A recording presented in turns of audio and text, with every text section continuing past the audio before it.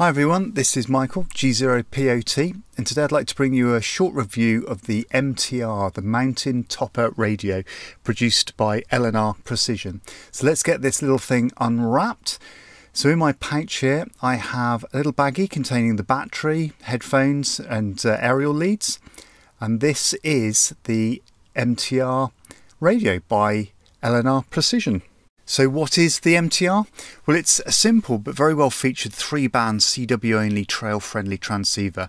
It covers 20, 30 and 40 metres and it has an output of about 2.5 watts and a receive signal bandwidth of about 500 Hz, so perfect for CW. There's no tuning knob, no volume control, and there's no built-in battery, no built-in tuner, and no signal meter. This is dead simple. And as you can see, I've fixed a Palm Pico paddle to the side of mine. So let's look at the physical attributes. The radio weighs just 125 grams. It's 97 by 69 by 26 millimeters in size, and that's including all the sticky out bits like buttons and the aerial socket.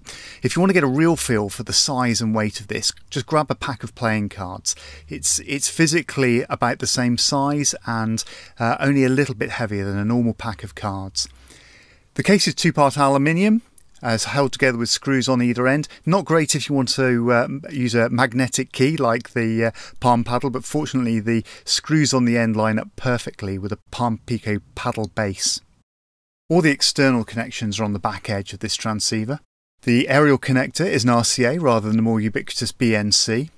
Uh, a BNC might fit in there if you want to retrofit one, but it's very tight inside the radio. And actually, the RCA is quite handy if uh, you find yourself in an emergency trying to connect an aerial, because you can simply push uh, the main aerial into the RCA and twist uh, a reflector around the outside. So it's easy for retrofitting in the field. The radio can be powered from a 6 to 12 volt DC supply, and LNR have chosen to use the less common uh, power connector, the 4mm by 1.7mm power socket that's used on the FT817. A standard 3.5mm stereo key jack supports the paddles with the MTR's built-in keyer, but if you wish to use a straight key, you're going to need to fit either a mono plug to the key or have a spare mono plug that you can plug into the radio while you're powering up. So the radio uses the type of key that's plugged in to select the type of key that it thinks you want to use. The final connection on the back panel is a standard 3.5mm stereo headphone socket. As I've already mentioned, there's no volume control uh, of any kind on the MTR, but I, I did find the volume sufficient for normal use. I find the side, side tone a little bit loud compared to the receive audio, but in practice it's not too bad. And if needs be, you can just slip the headphones off of your ears very slightly while sending and then pop them back on when you're receiving. Okay, let's have a look at the controls of the MTR. As a trail-friendly radio, the MTR has all the controls on the front or top of the case, uh, and this makes it easier to access everything. Over here on the left are the band change switches. Um, there's three of them uh, with three positions, so 20, 30 and 40 meters, and you need to switch each of them into position. When you change band, you hear the band that you've selected enunciated in Morse code as a single digit, either 2, 3 or 4, and you also see the band displayed as a, as a 2, 3 or 4 digit in the single digit display. On the right hand side of the mountain topper is the basic on off switch and along the bottom are the four main control buttons. The two right hand buttons are used to tune the radio and the whole of the 20, 30 and 40 meter amateur bands are available. Uh, if these buttons are pressed momentarily, the tuning is moved either up or down by 50 Hz increments. If you press the button and hold it, it scans uh, with a tuning speed of about 700 hertz per second. Um, so it takes about one and a half seconds to tune through one kilohertz, um, and therefore about a minute and a half to sweep through the CW section on 20 meters. The speed's about optimum for covering the desired bandwidth swiftly, whilst easily being able to hear and stop on top of a CW signal without overshooting. Pressing the function button briefly triggers the display and audio enunciation of the current frequency. Only the kilohertz and 100 Hz figures are displayed. So, for instance, for 14059.5 kilohertz, the radio will display a digit at a time 059 5. Pressing and holding the function button for less than a second provides access to three functions through the other three buttons.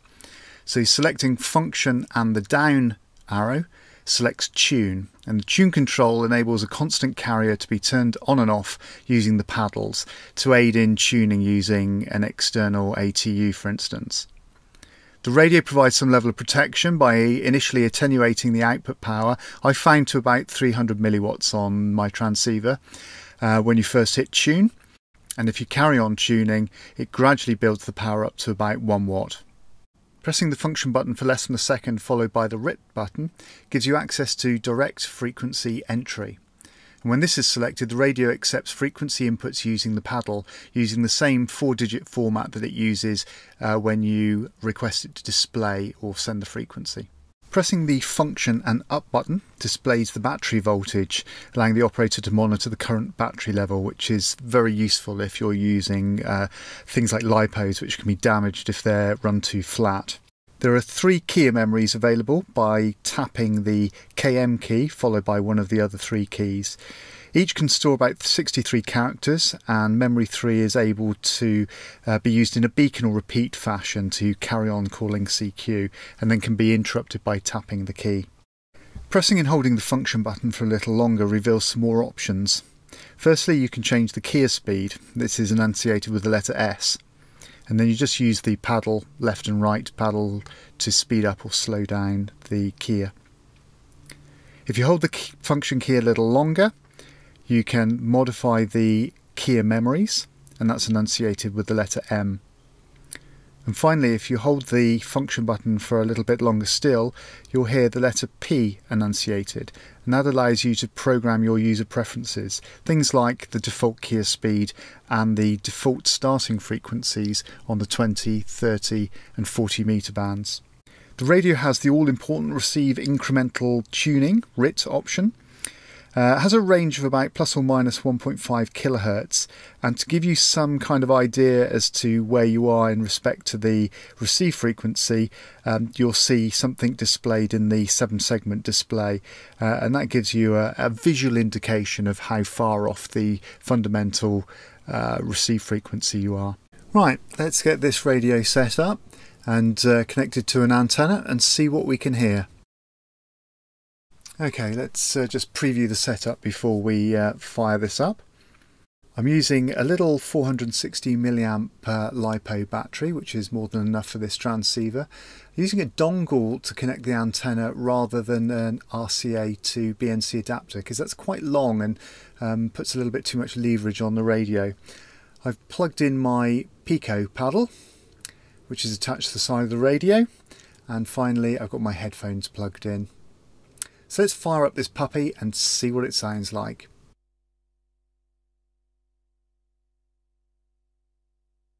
Okay, when we turn on we get a 3 displayed and sent in CW to indicate that we're on 30 metres. And if I use the paddles, we can hear the volume and quality of the side tone. Let's use the tune keys by pressing and holding to tune down and we can immediately hear a station.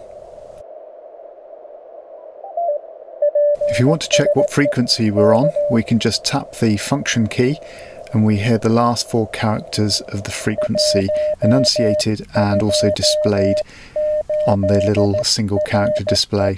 So that's 10128.1 kilohertz.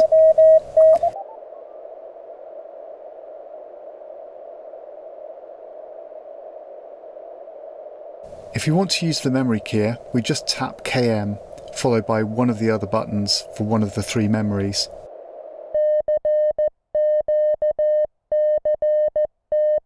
And if I tap the paddle, it stops the automatic sending.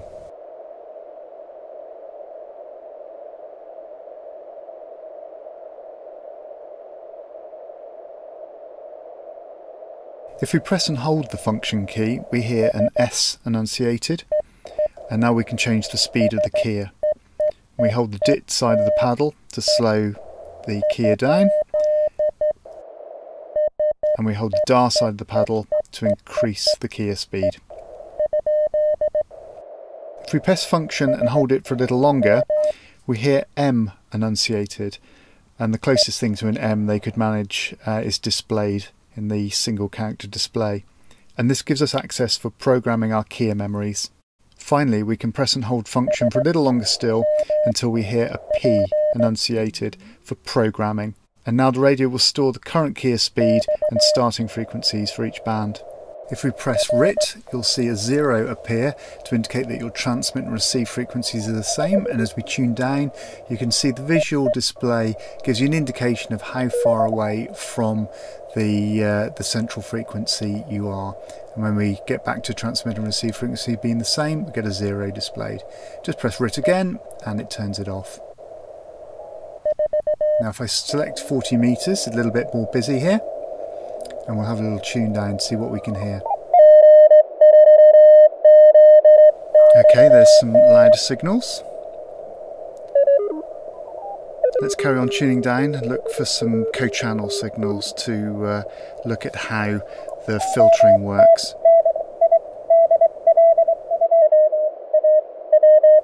Here I'm using a mix of pressing and holding the tune button and just tapping it to search for and tune in on signals.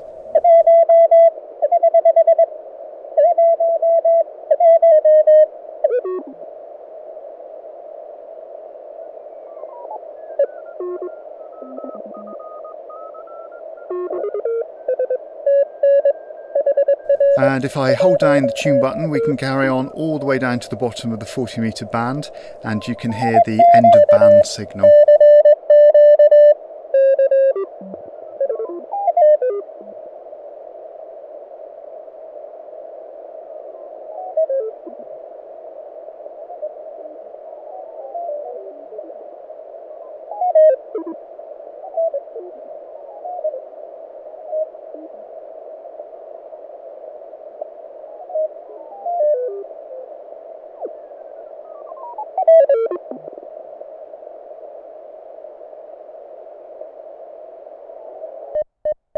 And there it is. And if we tap the function key, we should see that we're on 000-0. If I switch the unit off and switch back on again, you'll see that the radio starts back at my preferred frequency, which I've programmed into the unit.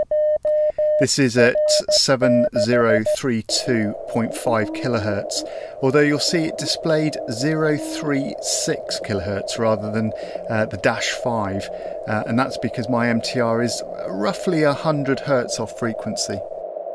So to wrap up, fantastic little rig. I absolutely love it. It is genius. Uh, receive current is about 36 milliamps, and on transmit depends on the battery and it depends on the band, but about 400 milliamps to give about two and a half to three watts output with a, a 12 volt supply. So it works really well on this tiny little lipo battery. This is obviously pretty well adapted for portable applications where the weight and size are really really important and where typically you find a free frequency and call rather than tuning around. Many people seem to use the MTR with an external speaker, but actually I've found it absolutely fine with simple headphones. Uh, it helps if you have a volume control or headphones that you can slip on and off the ears slightly to manage differences in the side tone versus the received audio. Being such a lightweight solution, being able to operate from very small batteries, this makes it ideal for backpackers and SOTA activists, which is probably why it's called the Mountain Topper. For me, this is an absolute keeper and I'm using it on a weekly basis. Okay guys, I hope you found that a little bit useful. If you're thinking about uh, purchasing a mountain topper, LNR Precision have them available uh, occasionally. They're making them in batches, I think, and they're about $250. Uh, plus you'll have to pay import duty here in the UK, so it probably works out at about £250 in total. I hope you found that useful. 73s from G0 POT.